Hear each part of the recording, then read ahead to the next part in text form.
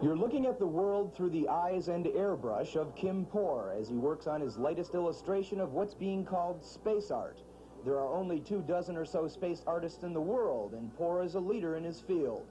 But despite his success, Poor says he came to space art by accident. I think it was just sort of an accidental thing. I was messing around working in a gallery one day, and what came out in my painting was planets. And I just kind of sharpened up the detail on it some and got some notes from the other artists in the gallery, and they told me to go for it. And go for it he did. Poor's work has been published in more than a dozen magazines, including Omni and Science Digest, and most recently, he created an illustration for the cover of a book called The 40-Minute War.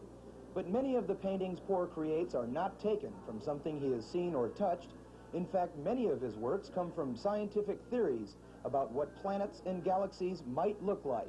That's the trick, and I think it's, it's something... Uh, I hate to say talent, but I, I get a lot of pictures in my head uh, just by reading a lot of things. And, and I'll go check those out with various scientists, and a picture starts to take place then. And Poor says scientists have criticized his work for being too colorful at times, but he says for every PhD, there is an equal and opposite PhD. Daniel Plante, News Center 7.